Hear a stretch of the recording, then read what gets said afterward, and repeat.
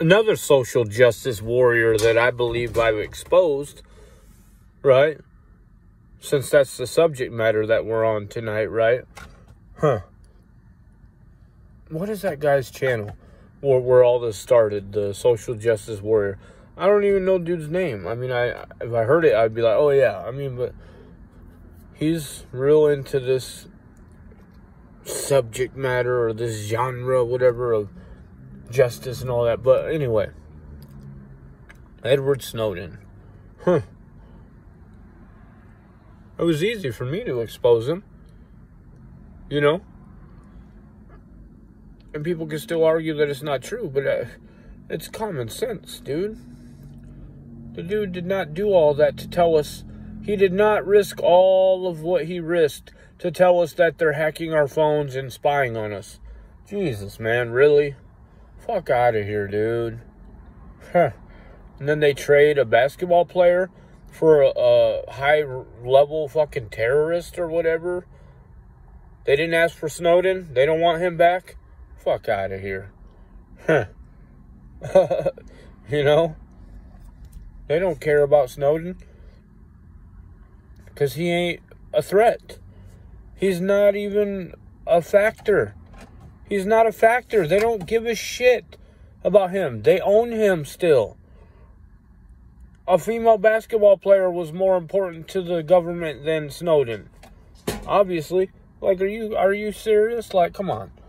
Like whatever, dude. You know, um uh but you see that's why that's another reason why a lot of these social fucking justice warriors won't mention me because look, in the end, they'll probably get exposed. Like like they're afraid of me exposing them. Like, you know, Mr. Rhymes with uh Narfoogle or Nargoogle. Yeah, that guy.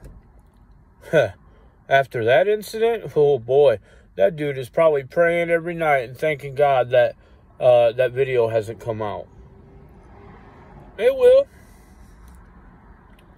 Oh, it will. How many, as a matter of fact, how many of these fucking social justice warriors do you think are trying to actively fucking take me out? Him, because, huh, yeah, he's a hero. He wants you to think he's a hero. I'm this nice guy.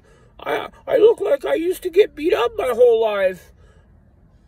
I I, I love you. I'm here to help. Yeah. No. I I I have my own opinions. I I'm mhm mhm. I I know better. I know well better. Anyway, um all these motherfuckers, dude. That's what they do. They're actors. They're actors. They're getting paid.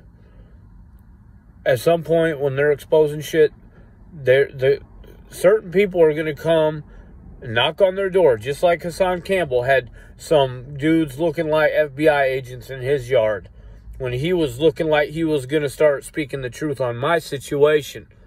Yeah, he never did, did he? Who were those guys, right?